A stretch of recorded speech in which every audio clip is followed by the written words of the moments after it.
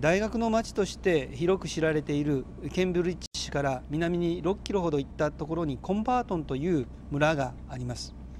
世帯数はおよそ950人口2400人。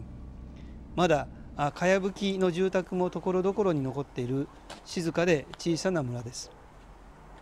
このコンバートンパリッシュにお邪魔してカウンシルの議長であるアマンダさんにお話をお聞きいたしました。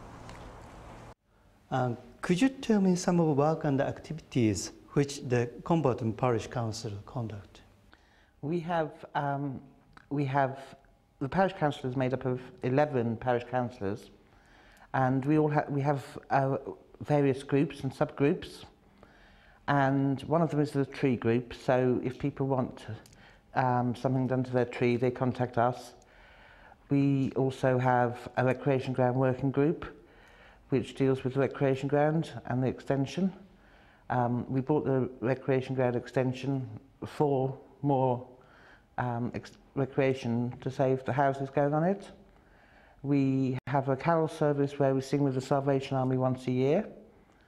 We have a planning committee that meets on a Wednesday before the parish council meeting um, to discuss the planning applications that residents have put forward. Um, if residents have a, an issue, they can write to the clerk or myself, and it's discussed at the parish council meeting. We meet um, the second Wednesday of every month, apart from August when we have a holiday. If we need to, to meet outside those times, it's at the chairman's discretion to call an extraordinary um, meeting, and we've only ever called one, as far as I'm concerned, in my almost two years as being a chairman. Um, how do the residents get involved in those activities? They, um, they have Contact Magazine, which goes out to every household, which is published about the second week of the month.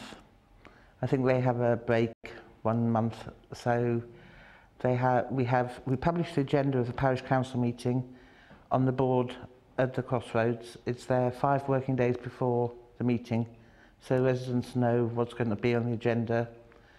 Um, we also, especially for this, where they wanted to build extra houses, we sent out a questionnaire to every household, um, and that was hand delivered by the working group.